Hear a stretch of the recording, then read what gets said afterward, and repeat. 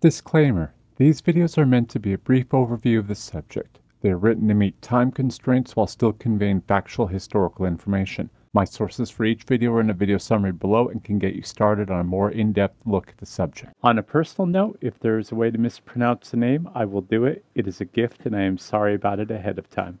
Welcome to Things You Should Know, The Great War. Today we're going to talk about the last large battle of the Western Front that did not use the iconic trenches of the First World War. Today we'll talk about the First Battle of the Marne, fought between Germany, France, and the United Kingdom, located near the Marne River on September 6 through the 12th, 1914.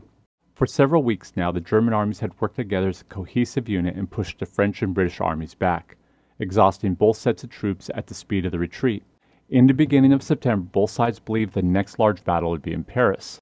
French command was preparing the last defenses of Paris, but realized they would not be able to withstand an attack from the German forces for very long they decided that the best defense was a good offense. French General and Chief of Staff and recurring character to the series, General Joseph Joffre, and others decided they would attempt to stop the Germans before Paris.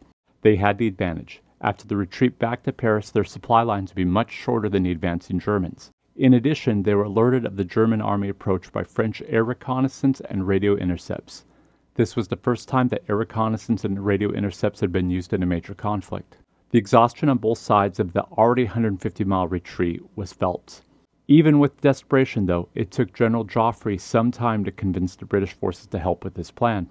The mission was put into motion on September 6 as General Michel Maunoury, commander of the 150,000 men from the French Sixth Army, met General Kluck's German First Army in battle. General Kluck, in an attempt to maneuver, moved away from the German Second Army in order to take on the French attackers. What was not realized by the German command was that this would leave more than a 30 mile gap between the German First and Second Armies.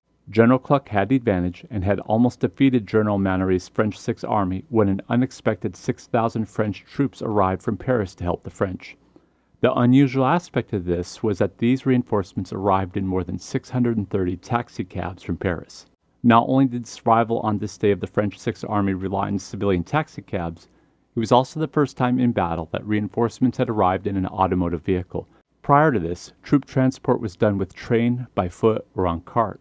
While the battle was raging, another returning character, General Louis Franchet d'Espèrey, French Fifth Army, and British Field Marshal John French's British Expeditionary Force pushed against that 30 mile gap located between the two German armies.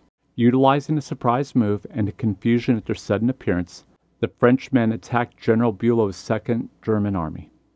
The fickle winds of fate had unexpectedly turned in favor of France and the United Kingdom as the Germans began to be pushed back. On September 9th, in desperation to avoid complete defeat, the Germans performed an organized withdrawal intending to regroup at the Aisne River. The desperation and tension were so high it is said that the overall German commander, General Helmuth von Moltke, suffered a breakdown and his subordinates had to organize the retreat. The autumn rain had begun, and on September 11th everything had become mud. Movement for either side was slowed down to a crawl as man and horse and vehicle vainly flailed in the deep mud. This slowed the German retreat down, but by September 12th the Germans had finally reached the bank of the Aisne River and began to build fortifications. The battle was officially over. This was the beginning of the trenches that the war is most known for.